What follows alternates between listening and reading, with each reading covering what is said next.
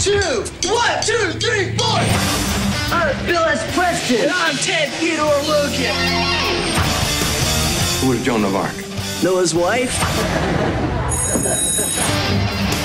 Now, unless you get an A plus tomorrow, I have no choice but to flunk the both of you. Gentlemen, I'm here to help with your history report. Can we go anywhere we want at any time? How's it going? It's a history report, not a babe report. Bill, those are historical babes.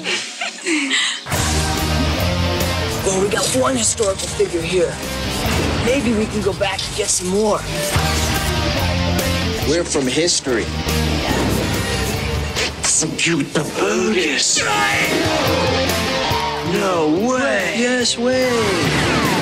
Excellent. Excellent. What number are we thinking of? 69, dudes.